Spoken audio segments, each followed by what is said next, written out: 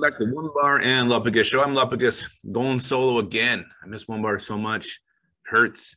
Uh, today we're going to talk about players who performed at the combine so well that they now move themselves up into consideration for the Vikings at pick 12. Before we get too into that, be sure to subscribe to the channel, like the vids. We are under 200 to go till we reach 6K. Cannot wait for that. All right. So, who are some players who worked out the combine so well that their, their stock is on the rise and they are now options for the Vikings at pick 12? All right. So, let's start with the first guy.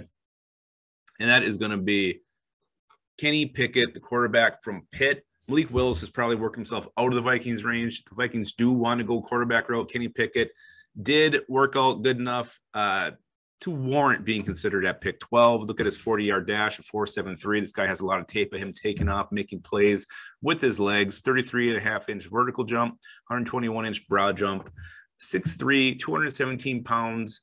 Yes, he's got wee little hands on him, but the guy can throw the football. He looked very good throwing the ball in the drills. He's got a ton of experience. Um, probably he's widely considered the most pro ready quarterback in the entire draft. So his workout, his tape, his production, you can make the case that the Vikings could go that route at pick 12. Obviously, they'd have to trade Kirk Cousins. I don't think they're going quarterback at 12 with keeping Cousins on the team. Now, with what happened with Aaron Rodgers, will Kirk Cousins trade market heat up? That is definitely something that could happen. So the Vikings could make a case. I'm not saying I do it, but the case could be made after his workout that Kenny Pickett is now an option for the Vikings at pick 12. Let's go over to a position that's probably less likely the Vikings are going to address, but you could go BPA here. And wide receiver is something the Vikings could do. Adam Thielen, his future with the team is up in the air at this point. Even without Adam Thielen, you probably could be okay waiting to address the wide receiver position or letting it go altogether. You got Jefferson, obviously, KJ Osborn, Ihmir Smith, Marsette. We don't know what Bisi Johnson's future is going to be like, but you do have some options there. But let's look at Chris Olave, the wide receiver from Ohio State six foot, even 187 pounds, blazing 4.39 40. Caught everything in sight at the combine. looked smooth, uh, ran beautiful, sexy ass routes. Super productive Ohio State. Uh, really one of the top receivers heading into this whole entire draft. Kind of took a back seat as Drake London, Treylon Burks were starting to get a little more love. But Chris Olave said, "Hey guys, don't forget about me," and he um, he let it all hang out and had a great combine. So Vikings, if they're sitting there 12, don't like the cornerbacks, don't like the outside linebackers, truly going BPA, Chris Olave could be that guy for the Minnesota Vikings. I don't think it would be a pick they would regret two, three years down the road at all. Chris Olave, I think he's got a very bright future in the league. Let's go to another guy, a big guy, another position that's probably not one the Vikings are going to really target at 12, but if he's there and is the best player available, maybe they pull the trigger. Uh, Jordan Davis, the big, beefy defensive tackle from Georgia. Again, look at Kwesi Adofo-Mensah's background. Coming from teams that built through the trenches, he could mimic that approach. That approach could be in his DNA. And what better way to build through the 10 trenches than getting this mammoth of a man, 6'6, 341 pounds, 34 inch arms, 4.78 40 yard dash 478 40 yard dash. That is insane. Uh, the, the fear with jordan davis you know i was actually a guy heading into the combine. I would have been fine with him at 12 before all this. Uh, there was talk he was just going to be a two down run stuffer only see the fields on running situations. He blew all that talk out of the water uh, this guy can collapse pockets he showed great lower body explosion his mobility agility laterally, vertically, horizontally was, off the charts. Really, this guy can move, and he got in shape for the combine. It shows he's motivated to be great. Uh, I love me some Jordan Davis, and I would not be one bit upset the Vikings went that way. Twelve. I think he's very much in the mix now.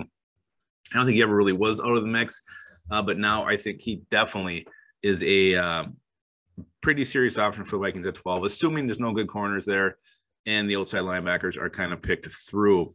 Uh, another player who's just had a great draft season, probably one of the best draft seasons of any prospect in the draft. That's Zion Johnson, the guard from Boston College, 6'3, 312 pounds, uh, 5.18 40 yard dash. Not the best. We look at his three cone, his four, his 20 yard shuttle, 446, 738.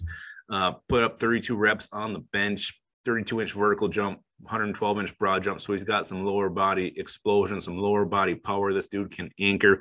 I think he closed the gap on Kenyon Green quite a bit. Maybe even I wouldn't be surprised if he's the first interior offensive lineman off the board, not named Tyler Linderbaum. Maybe hell, maybe he goes ahead of Tyler Linderbaum. Who knows? Uh, again, the Vikings sitting at 12.